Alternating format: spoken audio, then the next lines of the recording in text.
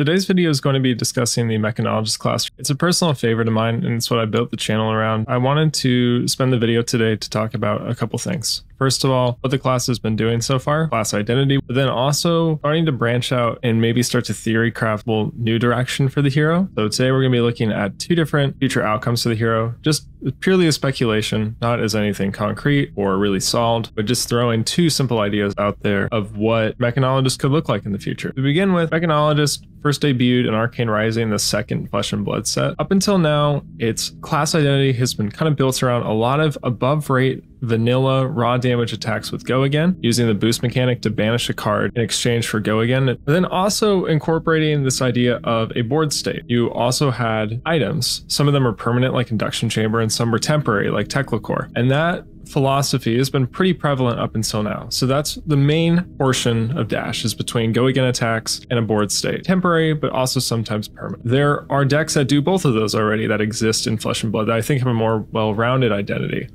In terms of permanence, you have the Illusionist class between Prism and Dromai. These are decks that build allies and auras, and in aggro, you also have the Rune Blades, but also you have the original Ninja class. So when you look at that, it seems like Dash is flexing in between two archetypes that already exist, that already have heroes that have really robust card pools that already seem to fulfilling both of those roles. The first thing is to actually push it and introduce Dash and maybe the Mechanologist class is an ally-based class. So here is a hero that I designed, Avalon Nexus Vanguard, a Mechanologist hero with 4 intellect and 40 health, has a once per turn action to pitch 3, put up to one steam counter on a construct you control go again, and then mirroring the Dromai ability, if you boosted a card this turn, one of the attacks, your mechs will gain go again while attacking. Now, mech can pivot into a more board state focused class. Now, if you're wondering how the constructs work, I'll get to that in a second, but basically the constructs requires steam counters to eventually transform into their ally counterparts. They will vary based on how many steam counters they need to flip. And here's another card synthesize.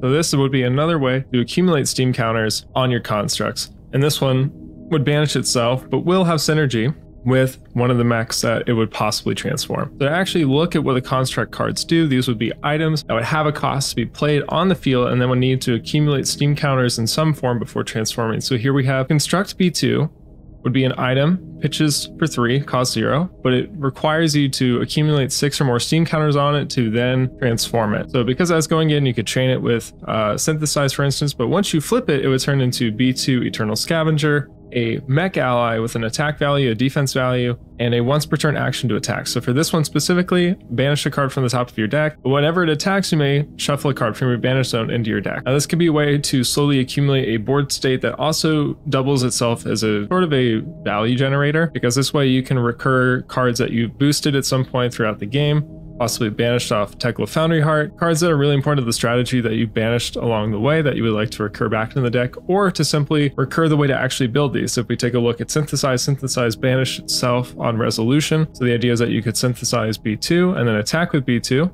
and actually recur the synthesize back into the deck. There could be cards that apply steam counters that also have go again. Synthesize does not have go again, so you cannot chain synthesize and B2 attacking the same turn. Unless if you had an additional action point, which of course you could do with something like High Octane. That card still exists and can still be played in the deck, and that should be worth noting. The reason for this is because I personally think that mech could really benefit from leaning more into the board state. The class name itself seems to imply this, and I think that it could be really fun to give personality to a lot of these possible mechs or allies that could attack or have abilities like Imposing Titan. So Imposing Titan is simply mirroring the Arclight Sentinel ability, where as long as it's on the field, it must be attacked. I meant to put an attack action on this, so it would attack for two. But the idea is that you would actually play this, and not only is it a board state, but it's a board state that has to be targeted by your opponent. Athene, a once per turn effect. Whenever you banish a card, you can actually play that turn. So if you boost, you actually essentially get to play the card that you banish as well. Or maybe you banish a card off of B2, right? And if these attacks have go again if you boost a card, then Athena can actually put in a lot of work here. Now, I haven't actually come up with the cost or the Steam counter cost for these, but the idea is that they would require resources on two axes. The first would be the cost to actually play the construct item, and the second would be the amount of steam counters needed to actually transform it. So that would be a pretty easy way to start balancing these mechs as well, because Athena maybe has way too strong an ability, but maybe if the item construct costs four and maybe it requires like more than three steam counters, then maybe all of a sudden it's actually pretty balanced,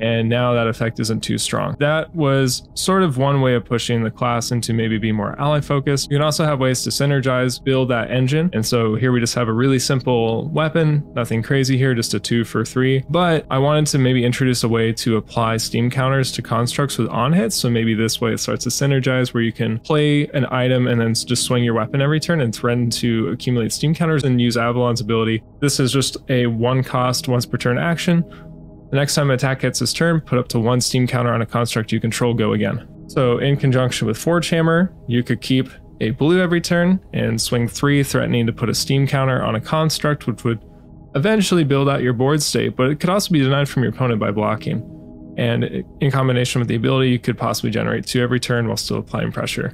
That was one concept. The second concept actually came from a custom card submission from the recent contest that we held, and this one uh, got second place. And this is Endless Iteration. Endless Iteration says draw X cards where X is a number of endless iteration in your banish zone. Finale, which was a new keyword, and then you banish Endless Iteration. So Finale requires you to go to your end phase immediately and lose all action points. Cost one, and the cycle comes in all three colors, but the cycle is actually kind of interesting because the cycle is what changes the actual cost of the card. So the yellow costs two and the blue costs three to play. Definitely a really fascinating card, but this was the other direction I was thinking of also that could work out well for mech in the future is if mech transitions into a more combo class. So if you think about endless iteration, the first four do nothing.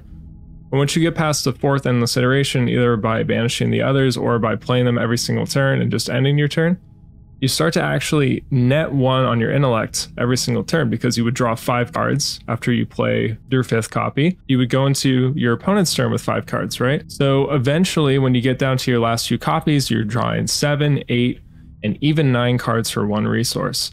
And that goes into your next turn. So if you can imagine going late game, even in an already existing shell, either in the boost shell or in the pistol shell of the deck, you could get nine card hands that could potentially play ma- two maximum velocities in a turn, maybe even three. Or you could high octane and boost like four times and keep a bunch of blues. And we're talking like actual OTKs here. Of course, with the downside, that it would require you to somehow get all copies of Endless Iteration into your Banish Zone. This could open up another avenue for mech that's actually pretty unexplored territory in Fab so far, which is the idea of a really hyper synergistic combo deck. If anyone is coming from Magic, I think Izzet would probably be a pretty close example of what I'm thinking about here. Cards that have incredible synergy within each other and lead to almost combo like potential, but are never really technically infinite combos, but just have insane uh, value thresholds that give you massive card advantage and huge amounts of damage. And they kind of build off each other. And I think Endless Iteration would be a really good example of a card like that. So I think Endless Iteration is a really awesome example from this person person who submitted it, suggesting an idea of what mech could be,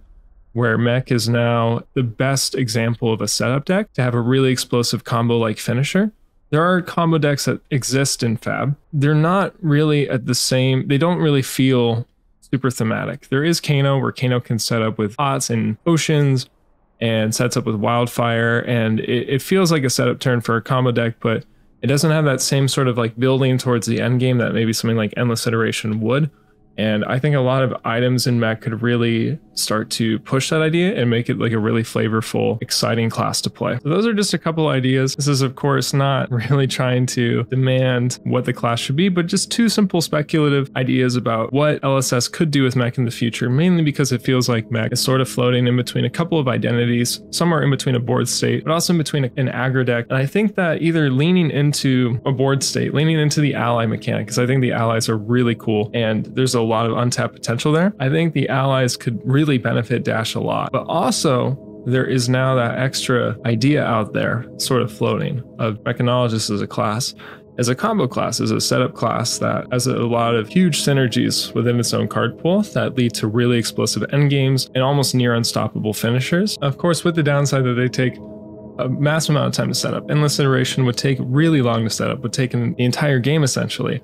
And if your deck isn't prepared to survive that long or doesn't have a game plan in between, I think you would have a lot of trouble efficiently pulling the combo off. But when it does work, it would be a really exciting um, sort of end to the game that I think would really benefit the class as a whole. A unique identity that doesn't exist yet, but also I feel the same way about the allies, even though Dromai and Prism have these sort of creature-like board states with allies and with the Spectre auras.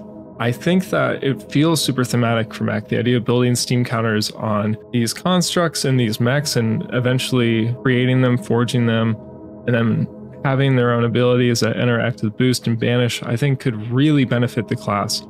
I think that could really tie into themes of mechanologist in ways that aren't just simple temporary board states or just ways to build out your weapon, which we've seen in the pistol build so far. So let me know if you agree with this, if you think that these could be two avenues for mech in the future. Also, let me know if you're actually pretty happy with where mech is at. Because I know there are a lot of people that enjoy the idea of building a value engine based around their weapon or enjoy the all gas, no brakes style of the boost version. And so I know that there are a lot of people that actually completely content with where mech is at and just simply want stronger cards in the pool but don't necessarily want a different style and mechanics or theme. So if that's you, uh, feel free to let me know and let's just create a discussion around this. This is just something I've been working on for about a couple weeks now. Ever since I saw that custom card, I've been just thinking about what mech could be. Just creating those custom cards for the ally based mech was like really exciting. More ideas to throw out there. But thank you for watching.